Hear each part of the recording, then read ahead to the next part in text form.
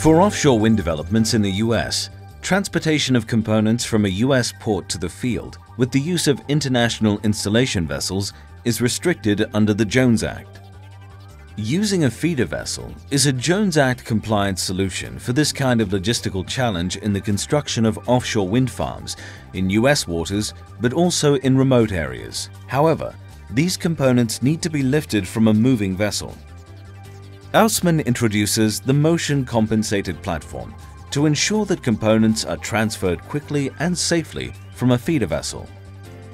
The motion compensated platform offers a stable deck space as it counterbalances the effects of vessel motions. This means that lifting of heavy components, as well as relocating an empty jackup vessel, can take place in more challenging weather conditions.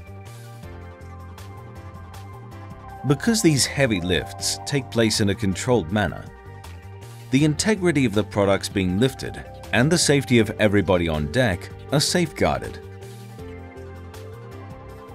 By using an offshore-rated feeder vessel equipped with a motion-compensated platform, your jackup vessel can continue installation works without having to shuttle back and forth to load new components.